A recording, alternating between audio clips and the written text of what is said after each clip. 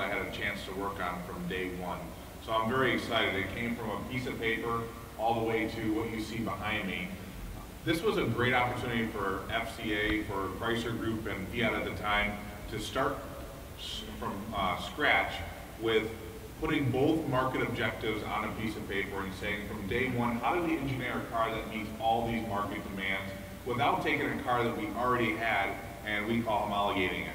This car, from day one, we said, here are the list of things that if we were to build the perfect Fiat for the North America, here's what we'd want for it. And I think when you drive the car today, you'll get to experience all the effort that went into that. So when you look at the showroom itself right now, you have the Fiat 500, and this is the ultimate freedom of expression. There are so many different things, as Jason mentioned, that we are able to do different Buzz models from 1957 to Gucci. Uh, and we did an Abarth version. We took one piece of sheet metal and expressed it so many different ways. It's a fun to drive vehicle, and then we realized that there were some constraints with size. I mean, our market really, uh, people love the car, but we do have uh, lot of need for space. So we came out with the 500L that still had the Italian style, but focused a little bit more on functionality. The 500X is the sweet spot. It is the one that's going to deliver the best of the Icon and the functionality you get on the 500L with even more capability when it comes to all-wheel drive. The great thing for the brand is that the reasons why people buy in the small crossover segment today are the same reasons people buy Fiats. So the fun to drive, driving performance, uh, styling. Those are why they're buying it. The, the, customers are buying today in the small crossover. For that reason, that's our strengths. We're going to take a vehicle and put it into that space, allowing us to capitalize on the things that we've already brought to the marketplace. Jason mentioned that the segment is supposed to explode, and we anticipate not just because of the current players in the market, but all the new entrants. And every one of those manufacturers is going to have a different idea of what a small crossover should be based on their brand. We have done this very successful with the other vehicles we have in the market by having a dual personality, and this is going to continue with the 500X. And it's going to allow us to go after each individual competitor that comes into this space with a unique offering that is slightly different, yet appeals to a different client. So you look at the Street Series, this is Italian style and design, maybe a little bit more refinement. And then you have the Trekking, which is the Italian style, but with more athletic flair to it. When you look at the lineup itself, we do have a good, better, best. And I want to make that clear. A lot of people see the number of trims we have, and we feel like if once you decide which style is right for you, within that you have a good, better, best. So the Pop is our base model, which is anything but base. You start with a 1.4 liter, 160 horsepower, multi-air with a six-speed manual transmission projector headlamps. You get power windows and locks. You get power mirrors and heat. Uh, you get a three and a half inch uh, Uconnect system. And you get 16 inch steel wheels. When you go from, and that's at $20,000. When you go to the mid trims for both of these, you get content such as a standard 2.4 liter um, Tigershark engine with 180 horsepower, and that's made into a nine speed transmission. Uh, you get upgraded interiors. You get a 5-inch Uconnect system that gives you the Bluetooth and Bluetooth um, streaming uh, music. You get 17-inch wheels. You get passive entry, keyless go, and remote start. So that will be on 95% of our uh, offerings is that feature. And then you get the Fiat Dynamic Selector, which from a Fiat perspective is a critical element of the design. This basically allows you to adjust the way the vehicle responds to you um, so that you can change the driving dynamic of the vehicle. We'll go into some more details later. When you get to the lounge and uh, the Trekking Plus, this is where you start getting upgraded interiors, you start getting navigation as standard, you get a lot of creature comfort standard like uh, automatic temperature control, heated steering wheel, heated seats, um, things that the um, more premium customer would want. So again, a good, better, best with inside of the two distinct personalities. So no matter what personality you choose, the content is almost identical. You are going to get the 9-speed transmissions, the Fiat dynamic selectors, you'll get navigation available, and then of course the all-wheel drive. When you start out with the POP, that has the 1.4 liter multi-air with 160 horsepower. and 184 pound-feet of torque made it to a six-speed transmission. That is the only place in our lineup you can get a manual transmission. Uh, when you look at the segment and where people are going uh, with their purchase decision, uh, it is predominantly automatic. We feel like as the customer evolves um, and they're going and changing their lifestyle, they're going to migrate to an automatic.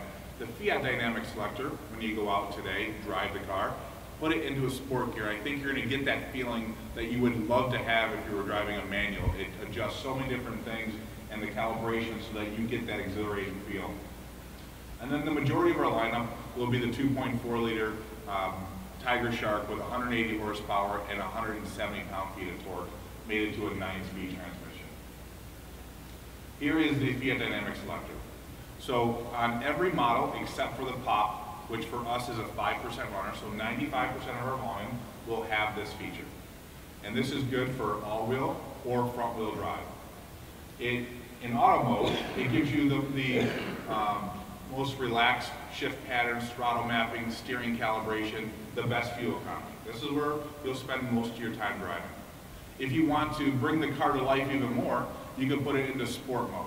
This adjusts the throttle mapping, elongates the shift points, it uh, adjusts electronic stability control, stiffens this um, steering feel, and allows you to uh, have a much more sporty feeling vehicle. In those low traction situations, we have Traction Plus. If you need some grip, um, we can put it into Traction Plus, and again, we adjust the shift points, the throttle mapping, electronic stability control, and it gives the customer that extra dimension of security, whether it's front wheel or all-wheel drive, again, adding that extra measure of confidence. When you look at the lineup for radios, the Uconnect 3 um, inch is the entry level radio. This gives you your normal features, your AM, FM, your USB ports, your aux ports. Um, all of our vehicles have the steering wheel controls on the back side of the steering wheel, so if you're not familiar with that, when you're driving, reach behind there, you have buttons on the back that allow you to adjust the uh, channel, the, the sound, what media you're using, um, all on the touch of your fingertips versus having to take your fingers off the wheel. All standard on the entry trim. The mid trim has a standard 5-inch Uconnect radio. This is where you get um, the XM Sirius radio, you'll get um, the 5-inch touchscreen, uh, you will get the streaming music and Bluetooth audio, and uh, hands-free. Available on the mid trims and standard on the high trims, we have a 6.5 inch Uconnect system that comes with navigation, 3D mapping, Sirius traffic, so you can route yourself around potential construction or accidents. Uh, TravelLink, uh, for those that like to drive, get in their car and just drive, this gives you a lot of local information.